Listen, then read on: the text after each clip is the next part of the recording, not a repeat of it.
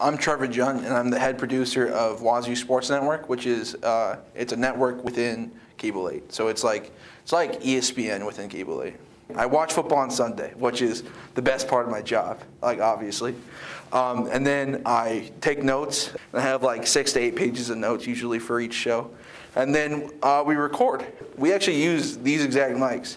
So we use these mics. Um, usually we get the audio levels, so we have to go into the control room.